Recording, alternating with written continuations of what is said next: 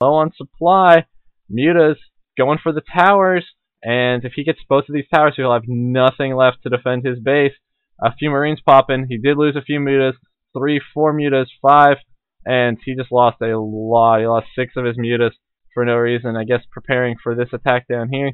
And one Muta flying around, and it's going to not get there. Very annoying, these Mutas.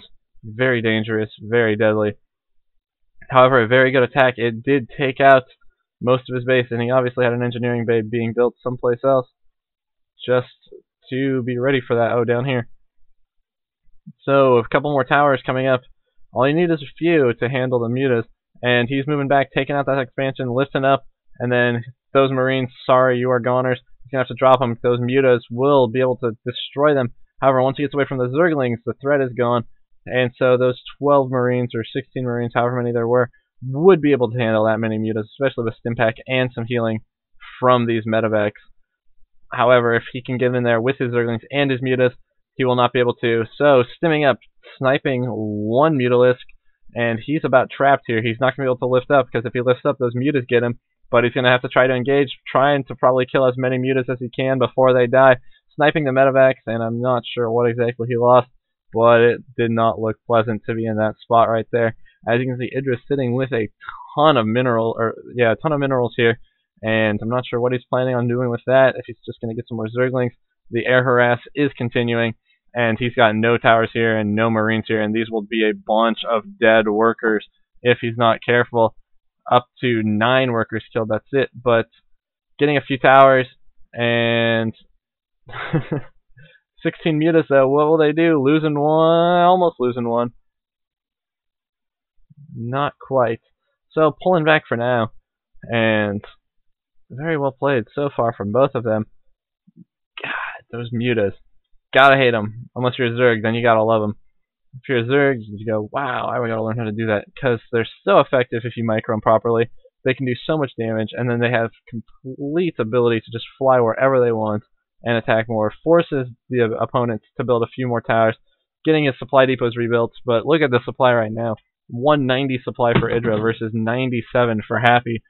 So it's not that great. And look at this, he's trying to build, but Muta's trying to get a few shots on that command center, but now there's nothing up here except for these towers, and the tower's just going to get dropped with this many Mutas. Yes, you can go through the towers.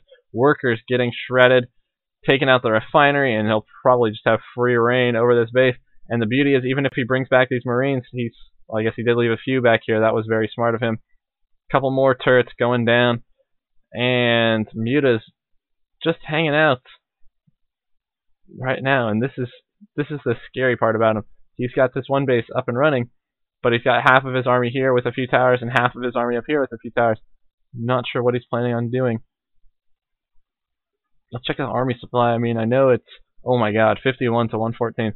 So just over double what his opponent has, and double his workers too. Huge amounts of Zerglings coming in. That's what he's spending his extra minerals on, he's just going to sacrifice them, probably try to take this out. A uh, few Banelings rolling through too. So Zerglings just going to town, getting them in with the workers and the Marines. That way when they get attacked by the tanks, the splash hits that too. Sending in the mutas to try and take this out. Uh, I'm not sure why he's not going for the towers yet. Those would be obviously the most dangerous thing for him. And oh my God, losing a lot of mutas, that many marines and that many tanks. I guess we're able to handle the mutas with the towers and the zerglings. I guess that is a planetary fortress, so that does some splash too. So nice defense from Happy here. I I thought that could have been it. Shows what I know. However, reinforcing with even more mutas, and this harass will just continue. We have more Zerglings in production, more Marines in production, more medevacs, more tanks. So Marine Medevac Tank looks like the game for Happy, and he will see what he can do. I don't like this armor placement right here. It's very vulnerable to these mutas. I don't know if that SCV will even live to finish it. In fact, no he will not. Tower going down. Armory getting forced to cancel. One muta lost. Will he lose any more? A couple Marines going down. These mutas not caring really about these Marine numbers. Sniping a medevac. And this harassment so, so dangerous. So, so deadly. Idra getting another expansion has this one up and running with a ton of spines. So army-wise, it looks like Idra is still capped out, getting a greater spire, usually indicative of some broodlords coming up, which he will be able to use to bust through these towers fairly easily if he gets them up and running.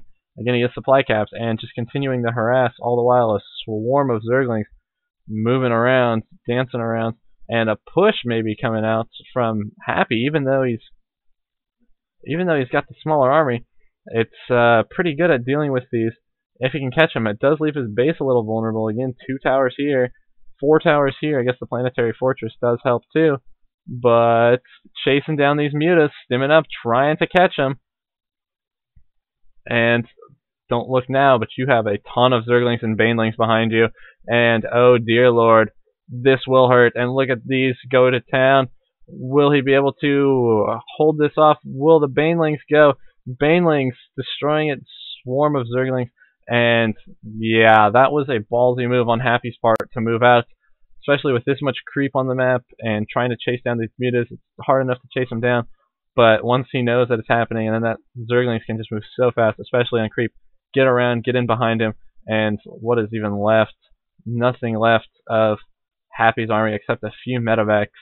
So ballsy play. I mean, I know it sucks dealing with the harass, and it sucks giving a Zerg free reign on a map like this, but I mean, he had the few bases, and uh, I think he could have waited to have a little more army. Again, he didn't know that Idra had 200 supply, and he's sitting there with 150 or so, and said, "Hey, screw it, I got to push before he takes over the entire map." And he did have almost half of it done.